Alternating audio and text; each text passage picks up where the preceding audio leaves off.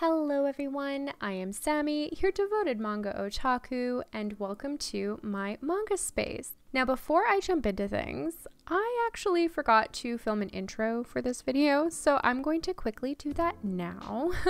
now today, I'm taking you folks book shopping with me. I visited a huge indigo bookstore while I was on vacation, and I ended up buying quite a few manga, quite a few more than I anticipated, but no regrets.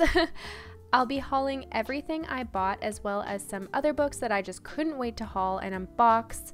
Now, a reminder if you'd rather dive right into the haul, I always include timestamps in all of my videos, so feel free to jump around. And with that, I invite you to grab a coffee or other beverage of your choice, and let's go manga shopping!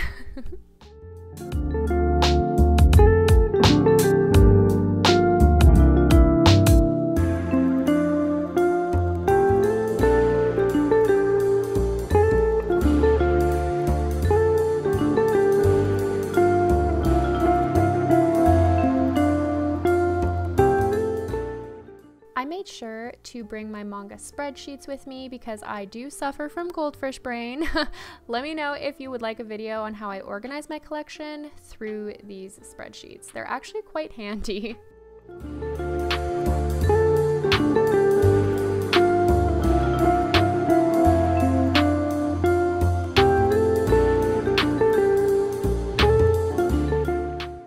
Whenever I visit an indigo store, I always look at all of their stuff.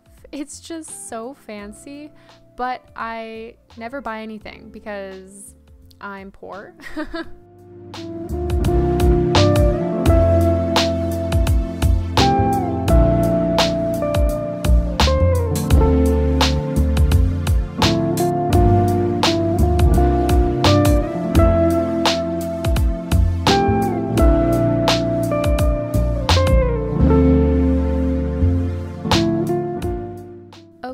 so now that I've made it to the manga section, I just grabbed my list and just started collecting the manga off of it. Uh, the first one was this volume of Apothecary Diaries. It looks so beautiful. The artwork is so gorgeous and super detailed.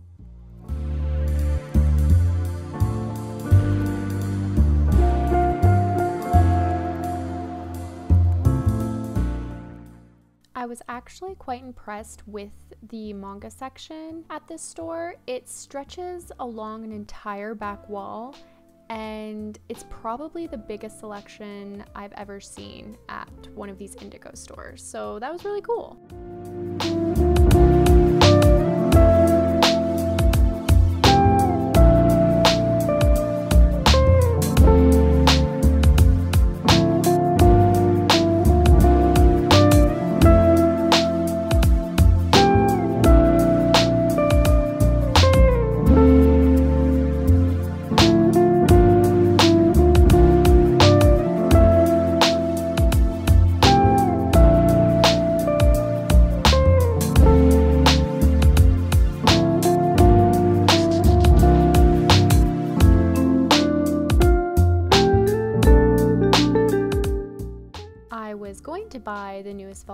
Of Witch Hat Atelier, but I forced myself to put it back because I haven't read any of this series yet. And to be honest, I was kind of proud of myself because the cover was freaking stunning.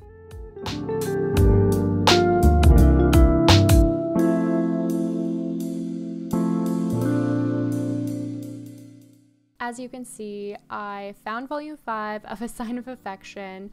I do own it already, I just haven't hauled it yet, which is the story of my life.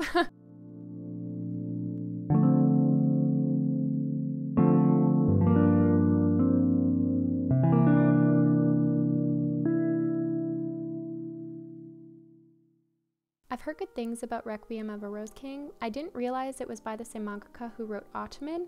I didn't like Otomen, but this doesn't look as saccharine as that series.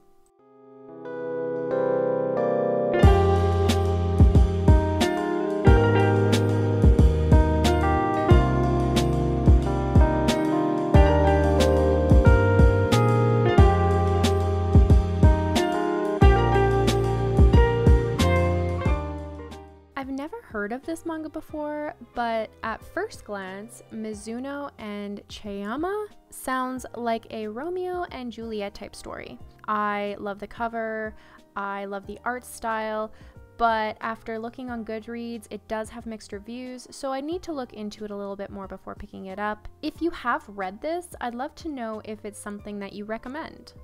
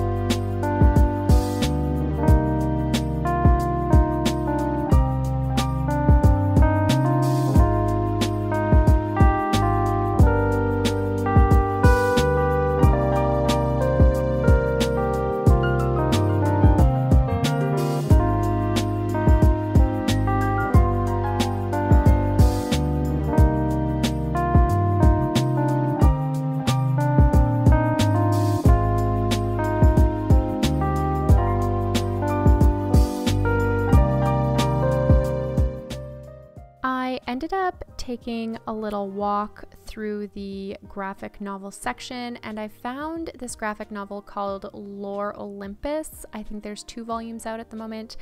These books are stunning. I love the art style, they look gorgeous.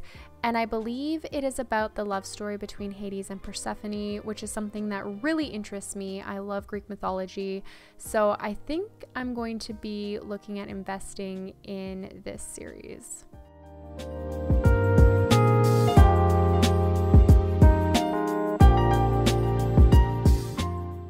I've heard great things about Grand Blue Dreaming, but I don't know anything about it. I just thought the back cover looked hilarious. If this is something that you've read or recommend, please let me know in the comment section.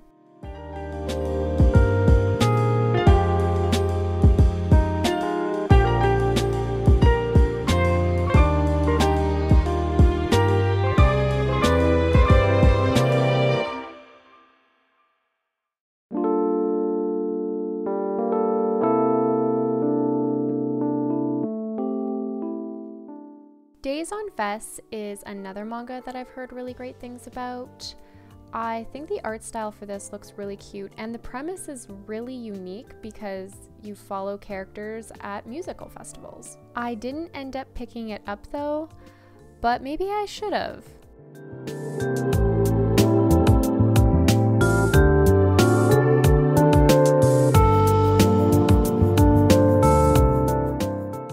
Kaguya Sama Love is War better get a box set.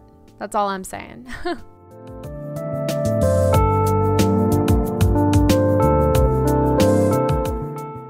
and that was my little shopping adventure, so let's just jump right into the haul. I hope you guys enjoyed my little shopping vlog. We kind of have a mixture of both manga I bought online and manga I bought while on vacation. And I thought oof, that I would start with this bag and we're just gonna start pulling manga out. But first, I have to show you guys this adorable book sleeve that I bought. I'm always bringing books with me whenever I'm running errands or when waiting for my kids and I thought this would provide really good protection. It is covered with adorable cats. It's padded and it's soft on the inside it's also water resistant, which is really great. And yeah, I've dropped books in the snow before and it's not a fun time. I'm definitely going to be getting a lot of use out of this. Okay, just for like convenience, I'm going to put this back down. And the first book that I'm pulling out is I Want to Be a Wall by Honami Shiro Shirono. and this is published by Yen Press and it is rated older teen. So I was following this manga months before it was released. I added it to my wish list because I was interested in the premise and I'm thrilled to finally own the physical copy. I Want to Be a Wall is a josei slice of life manga centering around a marriage of convenience between an asexual and aromantic BL fan and a gay man who's in love with his straight childhood best friend. After marrying in order to keep up appearances and mask their true natures, the couple strive to create a healthy and successful companionship. I think the art looks really cute and it just sounds like a very lighthearted story. Plus, I heard it has some really funny moments too. I'm really looking forward to reading a manga with an asexual and aromantic main protagonist. And then we have Cherry Magic. 30 Years of Virginity Can Make You a Wizard, and this is volume 4. It's by Yuu Toyota it is published by Square Enix and it is rated mature. so this is an ongoing yaoi series. I think there's seven or eight volumes released in Japan so far. And even though I haven't started the series yet, I keep buying volumes because I've heard really amazing things about it. Essentially, it's an office romance centering around a 30 year old virgin named Adachi who discovers that he's suddenly gained a magical ability allowing him to read the thoughts of the people he touches. Using this power, he learns that his handsome and successful coworker, Kurosawa, has feelings for him. The premise sounds amusing and the artwork looks really nice. Hopefully I can get to this soon. I also have to read Candy Color Paradox and at some point I also have to read I Hear the Sunspot. Basically, I just need to read more of my yaoi titles. And then we have volumes one and two of Daily Report About My Witch Senpai, story and art by Maka Mochida. And that's what the covers look like. They are super cute. These are both published by Seven Seas Entertainment and they are rated 13 plus. I believe this series is completed, so there's just the two volumes. And the main reason that I bought it is because the covers give me Kiki's delivery service vibes. Admittedly, I don't know much about the story, I think it centers around an office romance with the female lead also being a witch. The back of the first volume says this office couple has sparks literally flying. It's classified as a rom-com, so I expect it to be cute, I expect it to make me laugh, and I've heard a ton of praise for this short little series, so I'm really hoping I can read it soon. October is just around the corner, so reading a witchy manga would be a great choice for my TBR. We shall see. And then we have volume one of Monster. This is the perfect edition. This is by Naoki Urasawa. It is published by Viz Media and it is rated older teen. This is another manga series I know very little about and it was kind of an impulse buy. I bought this partially because everyone owns it and I have yet to hear a negative review. All I know is that this is a horror mystery series following a surgeon?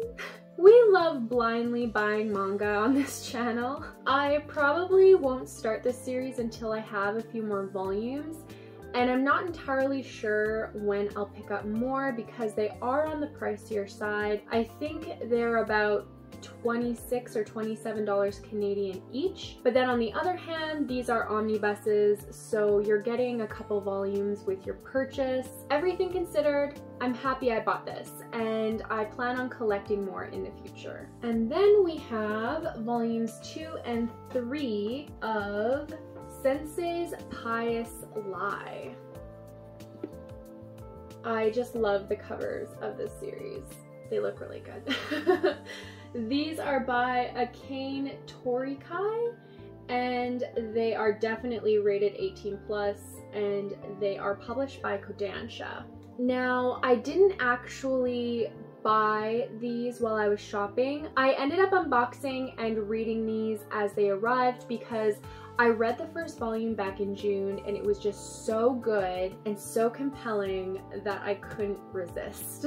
I'll be talking about my thoughts in my wrap up, but essentially this is a very heavy series about sexual violence and how it affects people. Additionally, it touches on the relationships between victims and their abusers while also exploring other problematic romances and relationships. It's very dramatic and uncomfortable, but I think it's well written and the art, especially the facial expressions, remind me of Shuzo Oshimi's art style. Trigger warnings for rape, sexual and physical assault, blackmail, emotional abuse, and incest. Like I said, it is a very heavy series, but it's good if you like reading these kinds of stories. Okay, so we're gonna take a break from the manga bag and we're actually going to unbox a manga.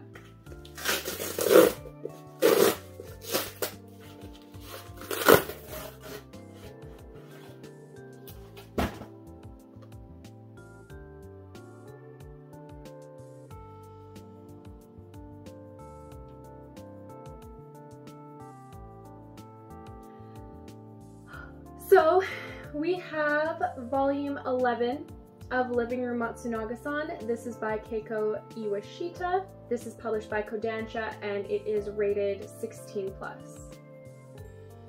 Looks like I have a little bit of damage on the spine, which makes me sad to the people who have subscribed recently, you might not know this, but Living Room Matsunaga-san is one of my favorite shoujo series. I haven't read the 10th volume yet. I've been waiting for this finale so I could read them back to back and I'll probably reread the ninth volume as well just to really draw out the ending. Living Room Matsunaga-san is just a really good age gap romance slash coming of age story. There is so much depth to the characters and watching them support and communicate with each other, it just fills my heart with so much joy and love. Iwashita sensei's art style is incredible. Her work is so clean and expressive and her character designs are very modern. I really want to do something special for this series like maybe film a small reading vlog or do a full series review. I'm not sure yet. But anyways, if you haven't read this yet, you really need to, and if you're on the fence, I recommend you check out my spoiler-free review of the first five volumes. It might help you decide if this manga is right for you. Okay, so now I am going to be hauling volume one of Summertime Rendering. And we're also going to unbox volume two.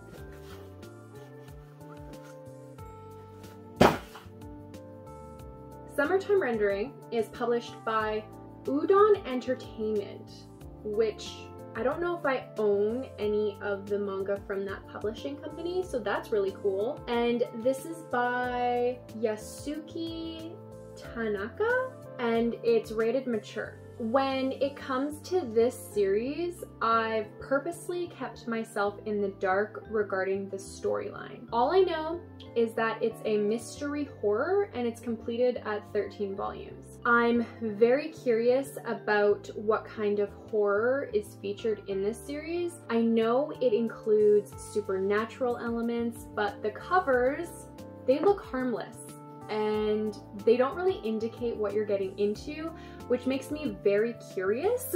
I'm really looking forward to checking it out and I'm thrilled to have another horror series on my shelves. And then we have this little guy. This is, the two of them are pretty much like this. This is volume one by Taka Takashi Ikeda. This is published by Seven Seas Entertainment and it's rated 15 plus or older teen. This is another series that I was following before it was released and I was first drawn to it because of the cover. I love the soft and fluffy art style it looks very cozy. this is an adult romance series about two adult women living together and what their day-to-day -day interactions look like. I'm not sure if these women have come out as gay and in a relationship or if they're just pretending to be roommates. Either way, I don't expect very much tension or drama. I get the impression that this is just a really cute, queer, slice of life story and having these kinds of books is really great when you want to read something wholesome.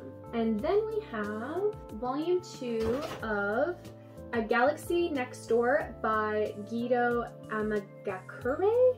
This is published by Kodansha and it is rated older teen. My daughter bought me the first volume of this rom-com shoujo for Mother's Day and I thought I'd buy another volume just so that I can thoroughly explore this series. The narrative follows an orphan named Ichiro, who's working as a mangaka in order to take care of his younger siblings. He's really struggling with his deadlines when a very competent but strange woman named Shiori starts working for him. However, due to some unusual circumstances, Shiori declares herself married to Ichiro, and his life is suddenly turned upside down. The reviews on Goodreads are kind of mixed, but I think the art is really pretty and I'm truly intrigued by this very odd premise. I've had a lot of luck with new shoujo this year and this series sounds promising. And then we have volume two of Moriarty the Patriot.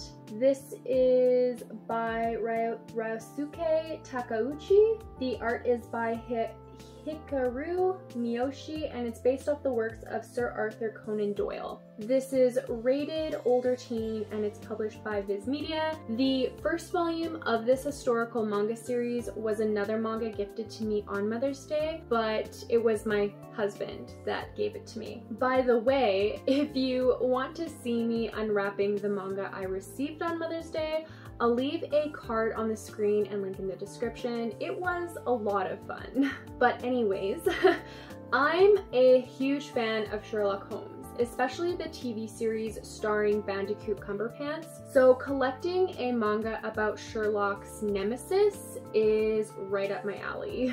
I think the art style looks great. I have heard only good things about this series on both Instagram and Goodreads, and I'm excited to be collecting another shonen. I don't have a lot of shonen in my collection, so yeah, really looking forward to this, and I think my husband is as well because he's also a Sherlock Holmes fan.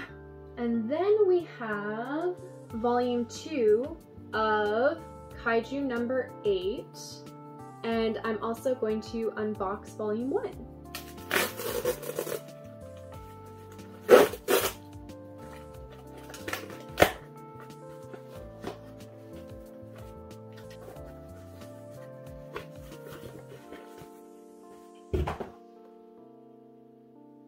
I just love these covers. I think they look so cool. ah, it looks like this is a staff pick cannot read the handwriting. I think it says Harlan? I hope it says Harlan. It kind of looks like it says hard on. but that can't be right, right? That can't be right. what do you guys think this says? Let me know in the comment section. H-A-R-L-D-O-N? Harlden? Harlden, maybe? I'm not sure. Anyways, Kaiju number 8, story and art by Naoya Matsumoto. These are published by Viz Media and they are rated teen. Kaiju number 8 is a science fiction fantasy adventure series that Instagram made me buy. I've heard so many good things by so many people, so I couldn't help but buy a couple volumes and give it a good shot. I don't know much about this series. I know a few odd things like the MC is in their 30s, which is kind of neat since most shonen feature children or young adults as their lead characters. It's cool to see my age group represented. Besides the reviews, it was the covers and the art style that drew me to this series. I just think it looks really awesome. I'm going to hold off buying any more volumes though until I've read these, but I'm actually pretty confident that I'm going to like it. And then we have volumes 11, volume 12,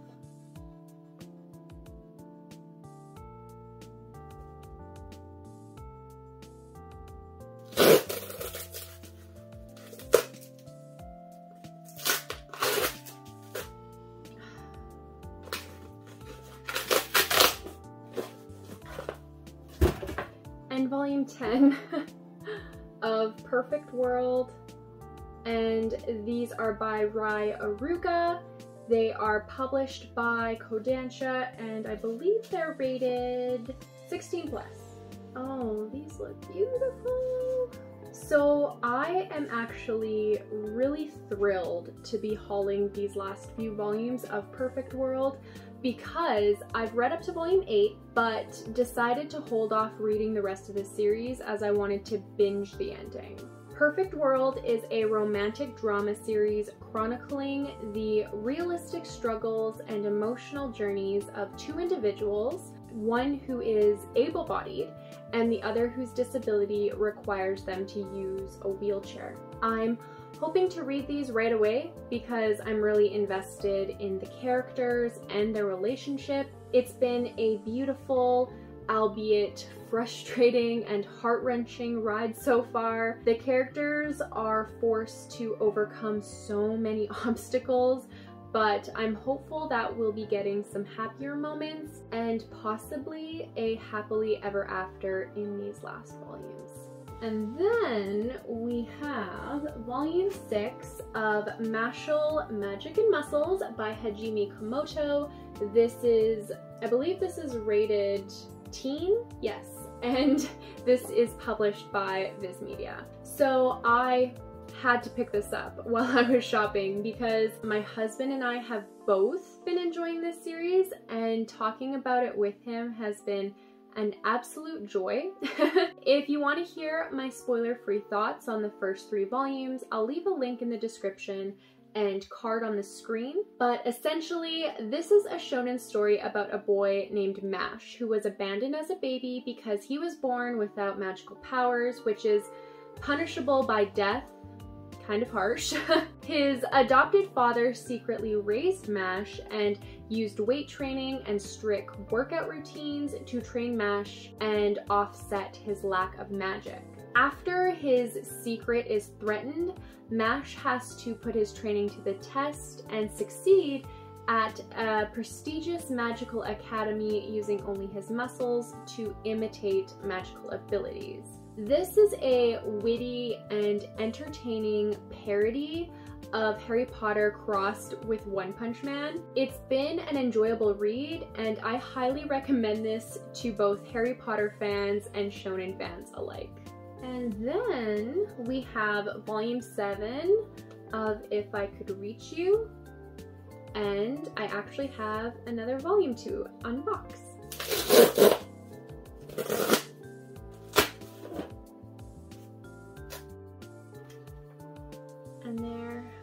Have volume 6. I really like the cover of volume 6. It's so pretty. The art in general in this series is really pretty. Now, I'm really excited to be hauling these books.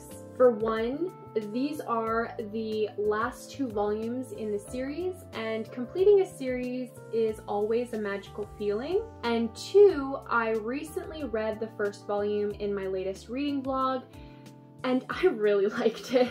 This is a Yuri story centering around a high school girl who's in love with her brother's wife. and because her parents recently divorced, she's forced to live with the newlyweds. So far, it's been a really miserable time for the main character. She's in a very tricky position, and I'm eager to find out how she's going to navigate this possibly messy situation.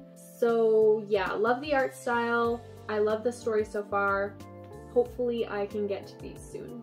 And then we have volume three of Play It Cool Guys by Kokone Nata. And this is published by Yen Press and it is rated teen. To be honest, I'm not really sure why I haven't read this slice of life series yet. I don't really have a good excuse.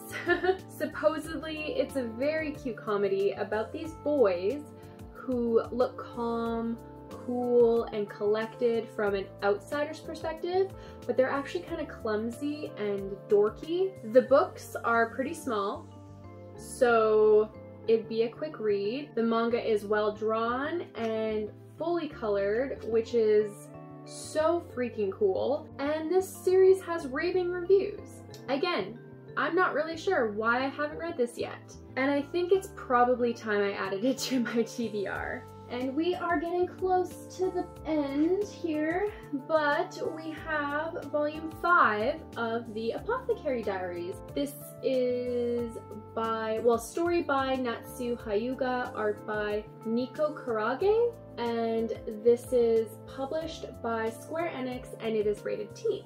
This is actually the first time I'm hauling a volume of the Apothecary Diaries on my channel. I have volumes 1 through 4 in a Right Stuf haul, and if everything works as planned, I should be filming that haul after this one.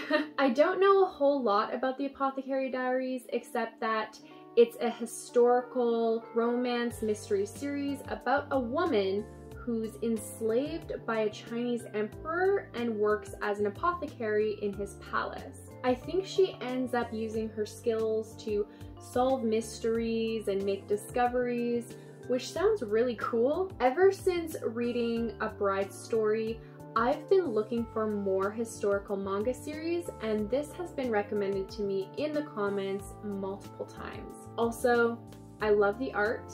I think it's breathtaking and the covers are gorgeous. Fingers crossed that I'm able to haul the other books soon. I can't wait to see all of them together on the shelf.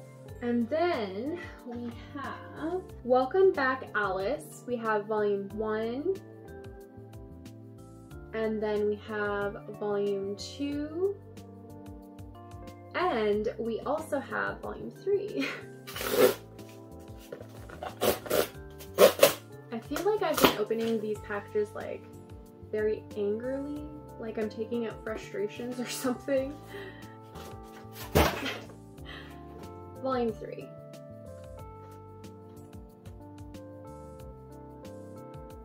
Oh, it's so pretty. So, Welcome Back Alice is written by Shuzo Oshimi. It is published by Kodansha and it's definitely rated is it rated 16 plus or mature? It's only rated 16 plus. That's a little surprising actually. So Welcome Back Alice is another manga that I bought online and wanted to haul right away. I believe the narrative revolves around reunite in high school, but one of the friends has started presenting as a girl and begins manipulating their friends. I believe this is a psychological drama, which isn't surprising because it's by Oshimi sensei, but I was surprised to see it getting mixed reviews on Goodreads. It sounds like a lot of people are torn regarding the LGBTQ plus representation, so that's very interesting. I see a lot of people comparing this series to Oshimi Sensei's other work, Flowers of Evil, which I haven't read yet. I really need to dedicate some time to reading Shuzo Oshimi's works. I think I have a couple volumes of Inside Mari to haul as well. So I'm thinking I need to binge some Shuzo Oshimi. but yeah, really looking forward to checking this out and see what's going on. See what the tea is. okay, so our bag is empty, but we still have one more manga to unbox and I kind of left, well besides Living Room Matsunaga-san, this is the second book that I've been most excited to unbox. I see the spine. It's wrapped in plastic. That's how you know it's good. Oh. Ah, it's so beautiful.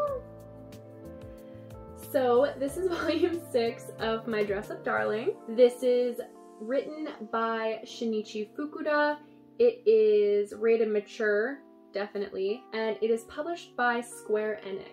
If you watched my latest vlog, you know that I read volumes 1 through 5 of My Dress Up Darling on Jordaline's recommendation, and oh my gosh, it was such a remarkable experience. I love this series so much. It even got five stars from me, and I couldn't believe my luck when I saw that volume 6 was releasing right away. My Dress Up Darling is a light ecchi rom-com series about a boy who aspires to becoming a doll artisan and he's approached by a very trendy and popular girl who'd like for him to sew her cosplay outfits. It's hilarious and wholesome and shares some really beautiful messages. Also, my husband and I started watching the anime together and it's a riot. I highly recommend both the anime and the manga if you haven't seen or read them. And that's all the manga I'm hauling today. I'd love to know what you guys have hauled recently or if you recommend any of the manga I talked about. If you're interested in watching more videos from me, you can check out my end card where I'll have links to my most recent videos. I hope you all have a magnificent day and I'll see you in my next video. Bye!